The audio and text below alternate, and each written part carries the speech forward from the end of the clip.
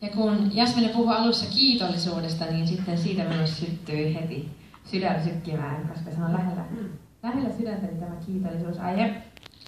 Ähm, voisin aluksi lukea raamatusta ensimmäinen kirje Tessalonikalaisille. Siinä luvussa viisi puhutaan siis tästä kiitollisuudesta. Eli ensimmäinen kirje Tessalonikalaisille, ähm, luku 5 ja jakeet 16 18. Ja tässä sanotaan näin. Eli meille kehotuksen sanoja. Iloitkaa aina. Rukoilkaa lakkaamatta. Kiittäkää kaikesta. Tätä Jumala tahtoo teiltä, Kristuksen Jeesuksen omilta. Um, mun mielestä nämä on ihanat kehotuksen sanat meille. Uh, mä voisin kertoa siis tosiaan todistuksen, eli uh, miten Jumala puhuu mulle tästä kiitollisuudesta. Siitä on jo joitakin vuosia. Mä asuin vielä vanhempien luona ja mä sain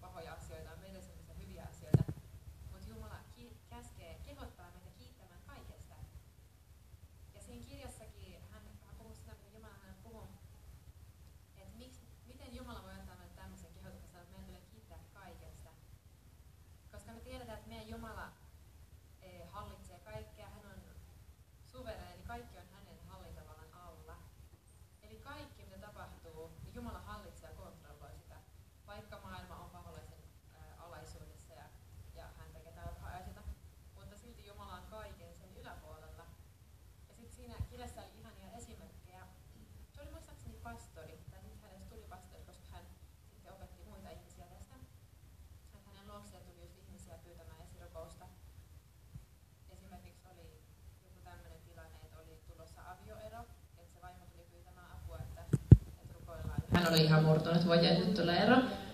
Ja Jumala oli just puhunut tälle pastorille tässä tai tälle miehelle, opettanut häntä itseään kiittämään ensin omassa elämässänsä asioista.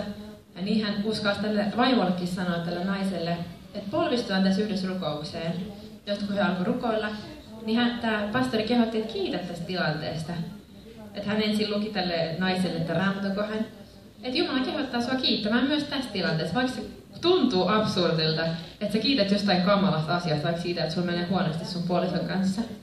Ja sitten hän rukoili siinä yhdessä, ja ensin tämä nainen ei tietenkään yhtään tajunnut, että miksi mun pitäisi kiittää. Mutta sitten hän teki sen vaan, siis oli kuulijoita tätä sanaa kohtaan ja rukoili.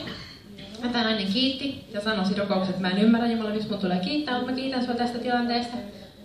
Sitten eh, se nainen lähti pois, hänellä oli edelleen surullinen mieli ja oli vähän semmoinen sekava olo tietysti, kun pitää tämmöistä kiittää. Ja mä en tosiaan muista tarkasti nyt ihan omiin sanan kirjaa, mutta se juttu oli siis se, että olisiko sitten mennyt pari päivää, niin sitten tämä nainen tuli taas sen pastorin luokse ja sanoi, että kaikki oli niin kuin muuttunut. Se mies oli muuttunut, tilanne kotona oli muuttunut. Jumala oli tullut ja toiminut siinä tilanteessa ja heille ei tullut eroa, vaan he sai jatkaa yhdessä. Ja hän ymmärsi silloin, että se ratkaiseva tilanne oli se, että hän antoi kiitoksen Jumalalle. Ja siinä oli paljon tämmöisiä esimerkkejä tosiaan. Tällä itsellä muistaakseni oli flunssa tai tämmöinen alle, niin allergia. Ja sitten hänellä aina alkoi nenä valumaan ja näin. Ja, ja sitten hän harmitti se, mutta sitten Jumala muistutti, että hei, että kiitos tästä flunssastakin, että että Jeesuksen niin haavojen kautta on parannettu. Että sä voit uskoa siihen, että, että mä haluan parantaa sut. Tämä mies alkoi kiittämään ja ne oireet pysyi ja pysyi, mutta sitten Jumala oli sanonut että mä oon parantanut sut jo. Mutta hänellä oli edelleen niitä oireita. Mutta sitten nekin ajan mittaan lähti pois, koska hän vaan kiitti ja uskosi, että Jumala on parantanut hänet. Sitten kun mä olin lukenut tämän kirjan, niin jotenkin se avasi mulle ihan uuden maailman, koska siihen asti mä, mä olin elänyt just silleen, että jos tulee vastoin käynyt siihen, niin mä masennuin ja olin surullinen. Ja jos meni hyvin, niin mä olin iloinen. Niin kuin me, me, meillä on tapana tehdä näin, eikä mutta sitten sit kun mä muistan, että mä sulin sen kirjan, mä makasin mun sängyllä. Tässä mä kuuntelin, että vessas, ää, keittiössä tippuu vesipisarasta, mä aloin kiittää niistä. Ja mä olin, tajusin kaiken, niin, että Jumala hallitsee kaikkea. Että Jumala kontrolloi kaikki asiat, mitä mä ympärillä on. Ja, ja sitten mä laitoin sitä käytäntöä, että aloin kiittää asioista. Ja kyllä mä muistan, että mun elämä muuttui silleen, että mulla tuli paljon positiivisempi mielenlaatu. Että jos joku, joku hu- huono asia tuli vastaan, sitten mä olin, että no kiitos tästäkin, nyt vaikka bussi meni ohi.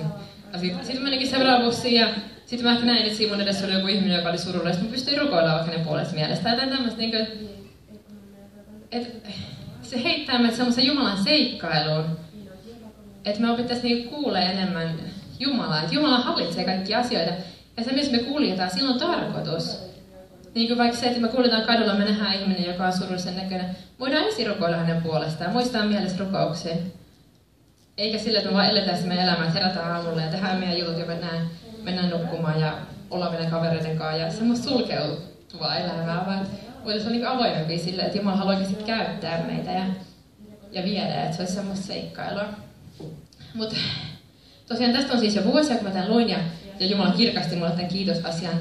Ja se on mullakin vähän laimentunut tässä, mutta mä nyt taas yritän muistaa sitä uudestaan ja pistää sitä uudestaan käytäntöön.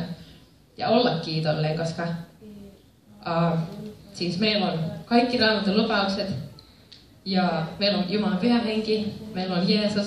Meidän tulisi olla maailman iloisimpia, semmoisia kiitolli, kiittäväisimpiä ihmisiä maailmassa, siis uskovaisten Jeesuksen omien.